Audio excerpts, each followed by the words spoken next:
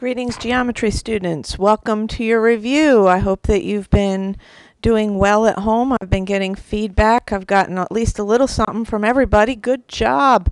I'm proud of you. So let's um, let's work this thing out with this quiz. You will be receiving a copy of the normal quiz, and the way that you're going to submit the answers is that you're going to uh, have a Google Doc that has the question numbers there. So, for example, if question one is multiple choice and the choices are A, B, C, D, E, uh, you would pick the correct answer, which might be like C, and then you just write a C in the little blank.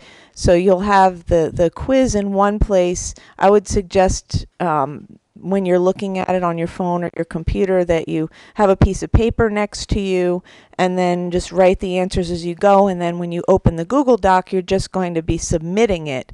Now I will be reviewing it because just in case you write it as a capital and it's looking for a lowercase, I'm certainly not counting that against you. So um, the grades will be held until I've had an opportunity to review all of the quizzes and see how you did on them. But let's get into the nitty gritty of this review so that you can do a good job in it. Uh, I've got topic lengths, but I'm going to go into more detail as far as what that might mean. Um, you, what, you might be asked to find some missing segment lengths and some drawings and identify tangent lines and common tangents. Remember we had common internal and common external tangents. You might be asked to find the perimeter of a quadrilateral. Remember when you had like a circle and then you had a quadrilateral out the side of it, and then you were supposed to find the different pieces and add them all up when they went around. Well, that's definitely on there. You might want to go back and check your notes on that um, because I, we definitely went over that. Uh, you might need to find the number of degrees in a major arc and how many uh, degrees are in a minor arc. Uh, if you have the minor arc and you need to find the number of degrees in the major arc, and we'll take a look at an example of that. And to know the difference between a major arc and a minor arc, uh, minor arcs are always going to be less than 180, so just a small piece of a circle. And major arcs are always going to be greater than 180, so a bigger piece of the circle. So that would be important for you to know. You would also need to be able to find the measure of an arc if you know the central angle, and that's pretty easy because a central angle is the same as the measure of the arc. That's the definition of the measure of an arc. You need to be able to find out how many degrees are in an arc by looking at how many equal pieces are in a circle. Wait a minute, how many degrees are in an arc by looking at how many equal pieces are in a circle? So for example, if it was divided up into four pieces, and you know that a circle is 360 degrees, you could figure out how big each arc is by just dividing it by four. Or if it was divided up by five, because um, you will see when you are looking at your quiz that it's that whole idea of think about if you have a divided up into equal pieces that you're taking 360 for a whole circle. Identifying common external and internal tangents, identifying major arcs, being able to identify radius, diameter, tangent, secant, and a chord in a picture, using the arc length formula and being able to find uh, being able to find the cost of paving a path after finding an arc length. Wait a minute.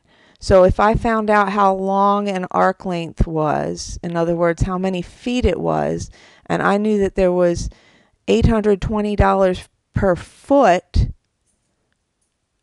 on that path, then you would just have to multiply the $820 times how big the piece of that circle would be if there was a circular or a part of a circular path. So that's kind of an application question, but I'm giving you a nice heads up on it. So let's take a look at some drawings, okay, and let's kind of get a handle as far as what kind of questions that you could be asked on here, okay. So first of all, you need to be able to know what the radii are. Okay, radius. So let's think about that. On this particular picture, AG would be a radius. I'm going to actually copy this and put it into a paint document so I can write on it more easily. Okay, here it comes. Oh, that's not what I wanted. That's from the other class. Let's cut that out and let's do this. Okay.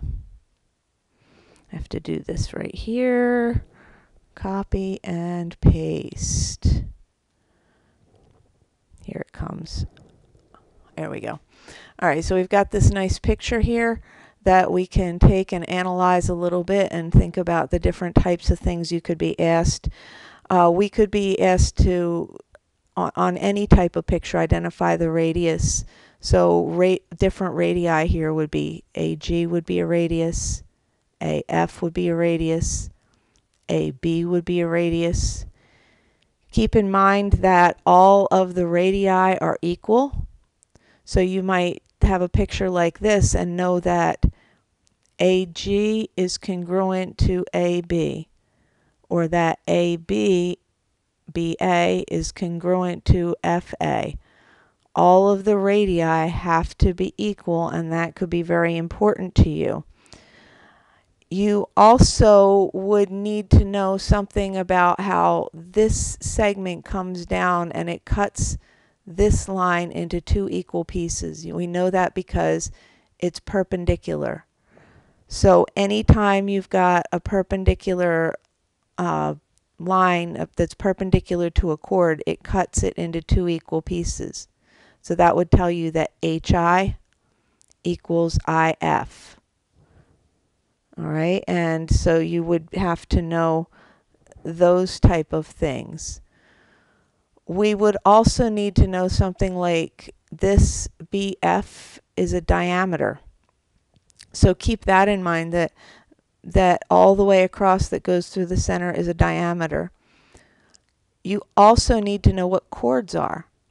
Okay, BD is a chord, BH is a chord, HF is a chord. Technically, even BF is a chord, but it's a special chord called a diameter this line out here that hits the circle at just one point, the word should be on the tip of your tongue, is a tangent line. Tangent. This line right here that goes through and hits at two pieces, two spots, would be called a secant line. So the difference between a secant and a chord is that a secant S E C A N T, secant. Okay, the secant actually goes all the way through. So the secant in this case would be line CD. However, we could also talk about a chord, and the chord is the shorter one that just ends at C and D. There are other chords here also like BH. And just as I said, the other ones that pass through that.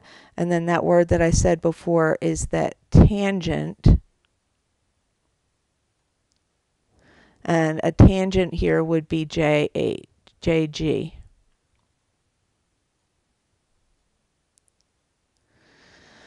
Now, you can also think about uh, various things with right triangles. Remember, in here you've got a right triangle. So, for example, if you knew that AI equaled 3, and you knew that HF equals 8, and you needed to find AF, what you could think about in this particular picture is that HF is 8, so that would make this part right here 4, because it's half as big. That would make AI 3, And finding HF, then you might be thinking about it as being a Pythagorean theorem type problem, which it is. A squared plus B squared equals C squared. Because here's a little right triangle, you'd have 3 squared plus 4 squared equals C squared. Some of you might even recognize it as a special one, but just in case, just in case you've got to simplify a little bit more, we have 25 equals c squared and c equals 5. Another good question for a picture such as this with a problem such as this would be then to ask you to find, I want to see if I can get this there we go. We'll get rid of this uh, thing right here so we can see. That's an I right there. This one is I. So you could be asked to find IG or GI. And you might be like, wait, I don't have enough information, but you do, because all the radii are the same. If AF is 5, so is AG. So AG is also 5. And if AG is also 5, and this part is 3, some of you would, should have popping in your mind that GI is 2. So keep in mind there are a lot of different type of questions that can be asked with a very, very similar type of drawing. Now, not all of the questions would be asked uh, with this exact drawing, but there are this we can get a whole lot of mileage out of a picture such as this. So just uh, so that you're familiar with seeing this and this type of thing and um, all those different concepts. I just covered a whole bunch of things from our initial uh, our initial list of topics. So let's take a look at another picture that we could possibly use and have a whole bunch of information asked about something like this. I'm going to put this where I can actually deal with it. There we go. All right, taking a look at this picture. Once again, you could be asked to give any type of value in this. You could be asked if you know that BC is 8, how much is CF? And the answer, of course, would be 8 also because they're both radiuses, radii. So we have that. You could also have something where if you know that, that for example, GE is 14, so if GE is 14,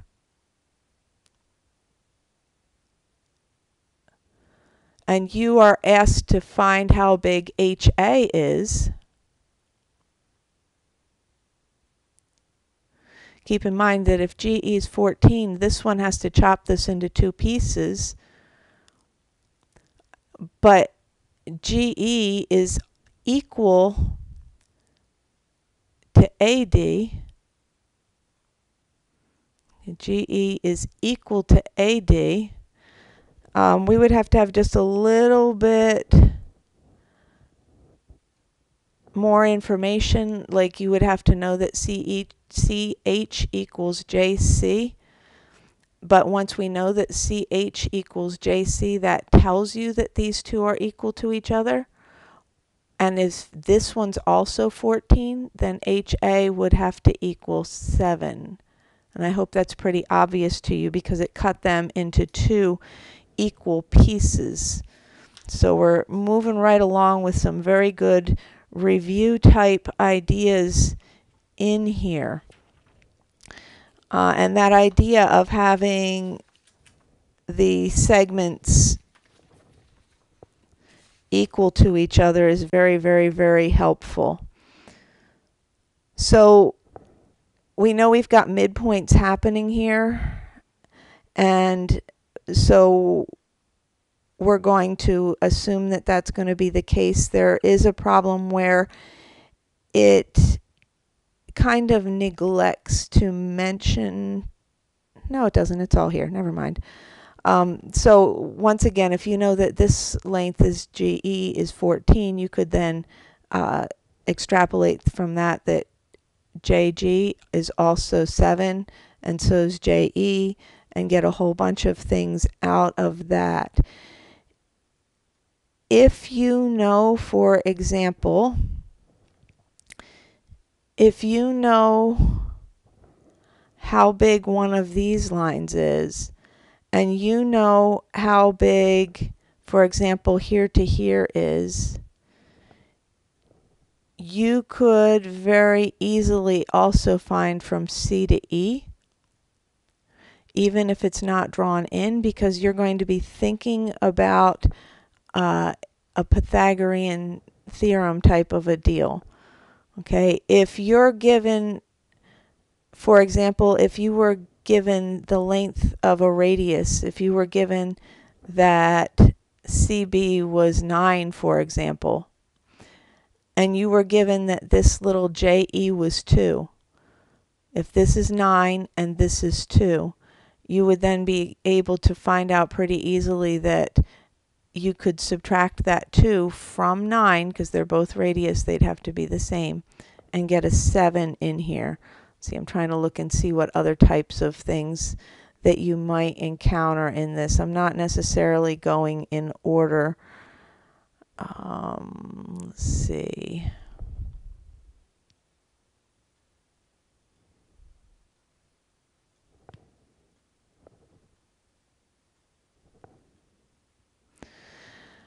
Okay, so if we know that GE equals uh, AD, that's going to be a clue that automatically tells us that these lines are also, these segments are also equal. So if you knew that GE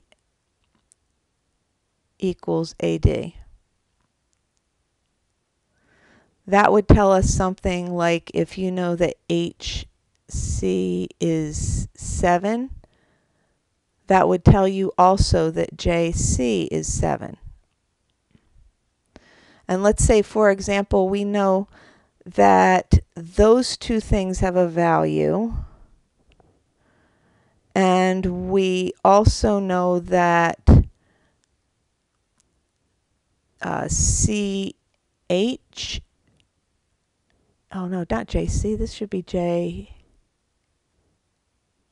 no, that's right let's say we know that GE then, um, let's give GE a new value, no longer 14. Let's give GE a value of 16. Okay. If GE is, a, six, is 16, and then you're trying to find a value of CE,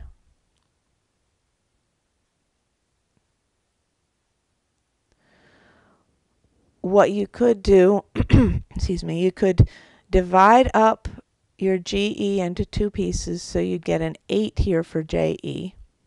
You'd have an 8 here. You'd have a 7 here. And if you're trying to find CE, you can use your Pythagorean theorem, a squared plus b squared equals c squared. And knowing that JC is 7, and knowing that GE is 16 tells you that JE is 8. And CE, although it's not drawn in, you can imagine it being drawn in and being um,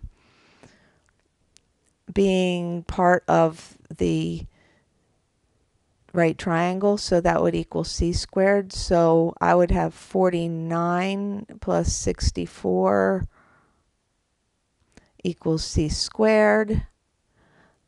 That would give me c squared equals 49 plus 64.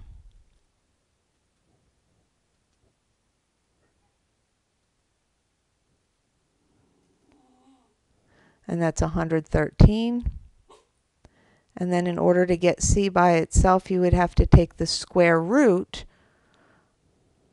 on this calculator it's like this, but any of even your phone calculator, put the 113 in and just push your square root button.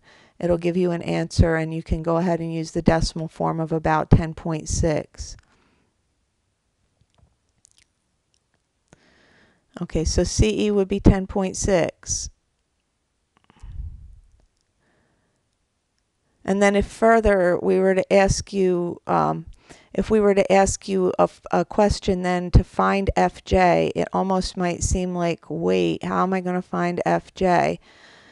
But after you know how big CE is, that tells you how big CF is. And we already know how big JC is. Okay? We already know that JC is 7. This is 10.6, which makes this whole thing 10.6. So you could take 10.6 and subtract your 7, and your answer is about 3.6. So make sure you're thinking about all of the things that you know Okay, knowing about these two things being equal, knowing about how these things frequently turn out to be equal, knowing that um, just all those various different aspects of it. Also, make sure that you can do a little bit of algebra. Okay, so for example, if you found out that this was equal to this because they told you that HC equals JC, but they told you that GE equals 3x uh, minus 2, and they told you that AD equals 2x plus 9 and you're supposed to find, first of all, find x. Well, we know that these two are equal, so you could do 3x minus 2 equals 2x plus 9. Do your algebra thing where you take away the 2x from both sides. x minus 2 equals 9, add 2 and you get x equals 11. So that would be a personal a, perfectly reasonable question to ask and you could then possibly be asked from there to possibly find GE.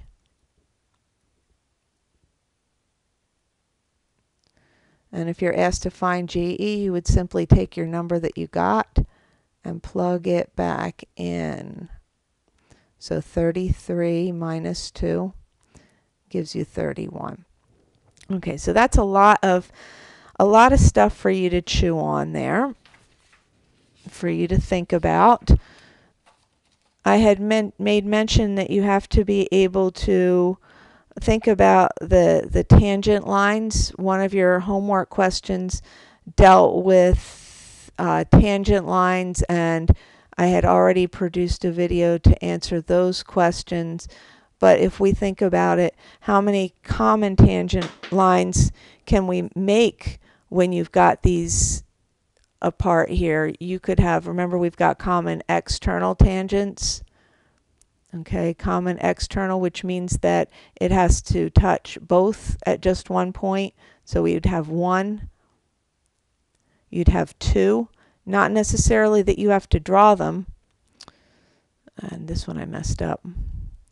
But not that you'd necessarily have to draw them, but you would have to uh, know how many you could draw or you could identify them when you're looking at them. There we go. So there's one of the tangents, one common external tangent. Uh, we have a second one, one two, and then one that comes down in between, and another one that comes down in between. So one, two, three, four common tangents. Two of them are common external and two of them are common internal. This one here is just a mistake that because I didn't get, I accidentally tapped first, but you get the idea. Remember the tangents can hit at just one place. So here we have four common tangents, two internal and two external. So you need to be able to see and identify them in whatever form that you would see them. Um, the internal ones are different from the external. I'm just trying to cover my bases here so that we've got pretty much everything covered and reviewed, at least in some way, shape, or form. Because we have been over an awful lot of concepts here, but I think you guys are good and solid on them. Let's see here. What else? All right, let's take a look at this picture and see what kind of questions we can get out of this one. So you can take a look and think through a few things that I've been throwing words out there with. Okay, so for example, in this one, well, we could talk about a whole bunch of things. We could talk about the central angle. Okay, the central angle here for the measure of angle YWZ is going to equal 65 degrees because remember the central angle has to equal the measure of the arc. We could take a look here and we could talk about the minor arc, uh, the minor arc XY, minor. And the minor arc xy is different than the major arc xy. The measure of that minor arc xy is 40 degrees. The measure of the major arc that goes with it, in other words, the measure of arc xzy remember this will take you around the long way, xzy, would be 360 minus 40,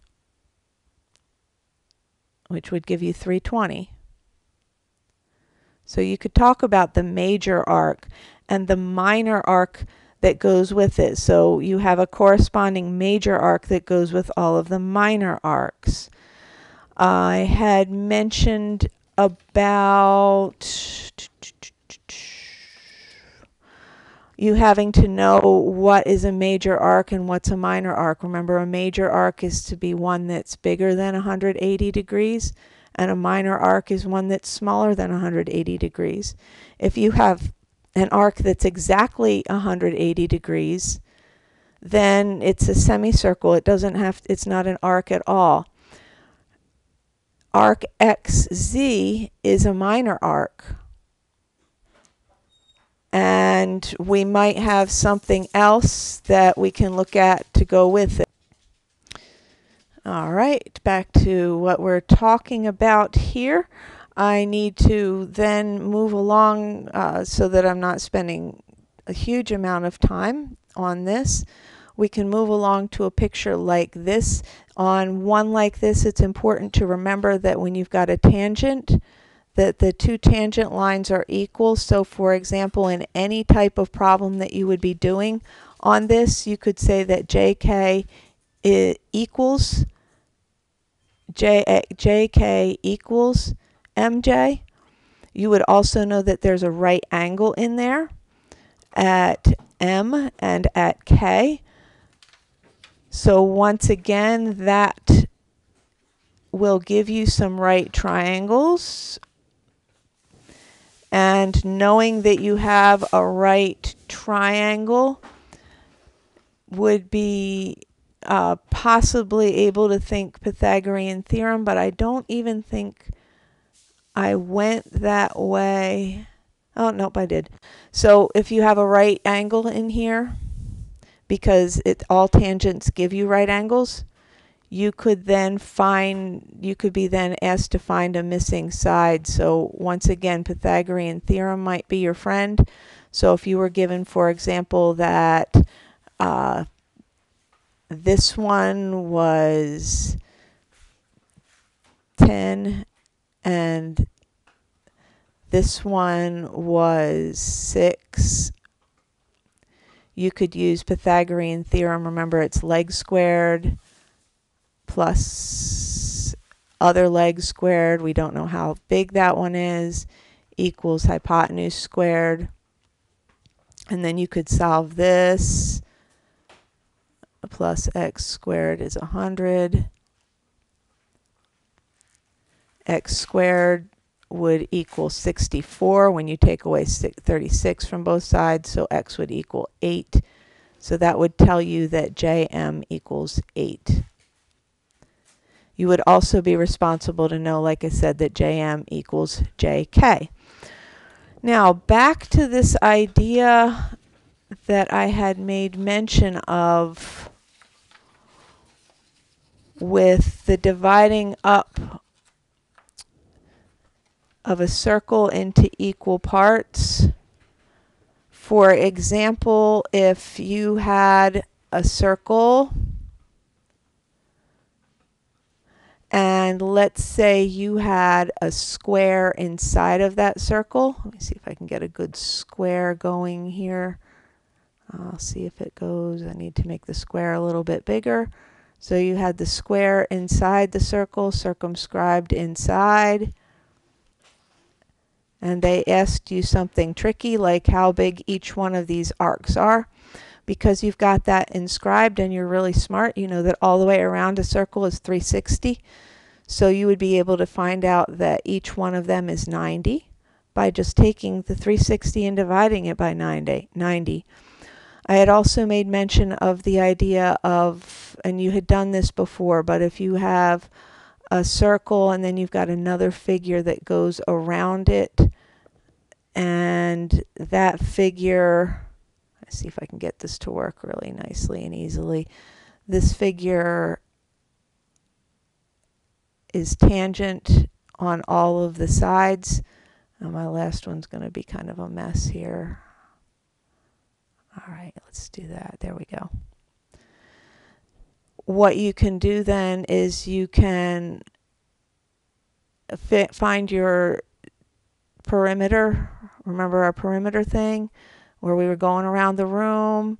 Like if you knew that this was 8 and this one was 12 and this one was 9 and this one was looks like it could be 7 you could go through and you could figure out, well, if this one's 7, this has to be 7. If this one's 8, then this one's 8. If this one's 12, this one's 12.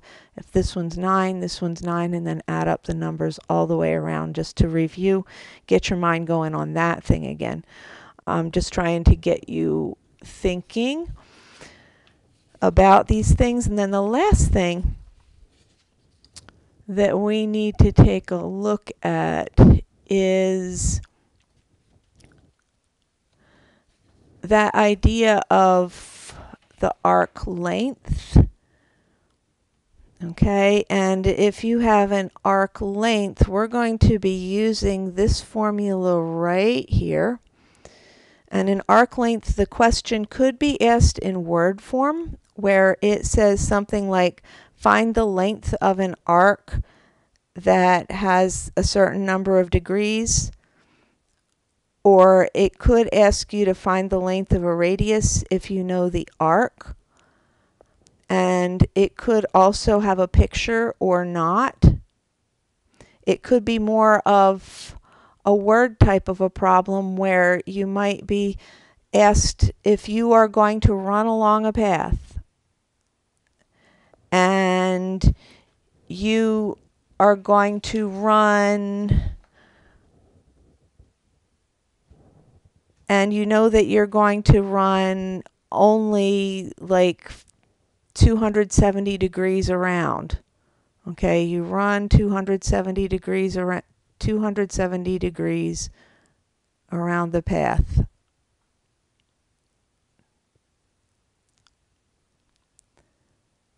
And the radius of the path is 900 feet because it's a big old circle.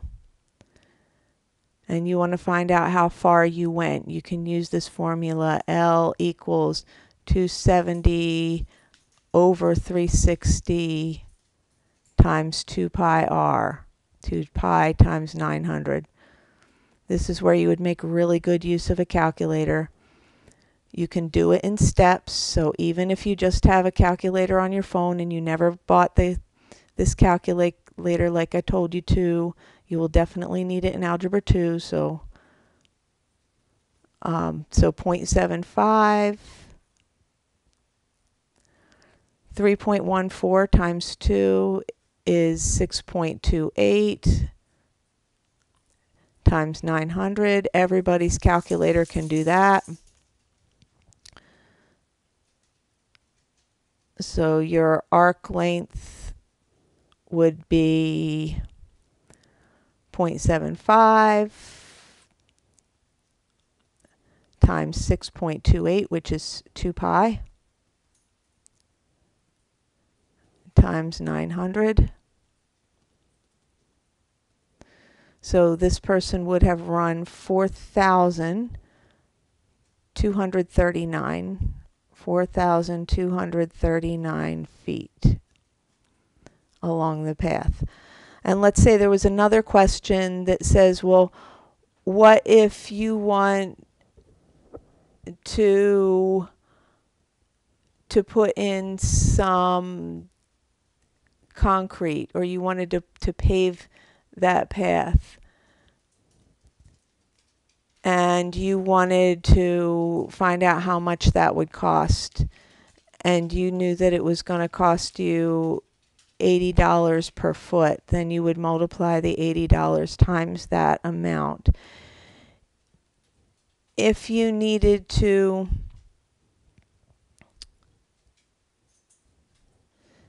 yeah, so if you needed to find that out, you would be able to do that and just simply multiply it and get the answer. So I think with all that being said, I think we have a pretty good review. Uh, pretty thorough actually compared to some of the other reviews. I think you'll be in great shape. Make sure that you take your time. Like I said, I'm going to get that quiz to you and you're going to make sure that you are uh, writing it down so that you can just put it into the Google form when you're done. So I miss you all. I can't wait to see you again when this whole thing is over. And I wish God's blessings on you.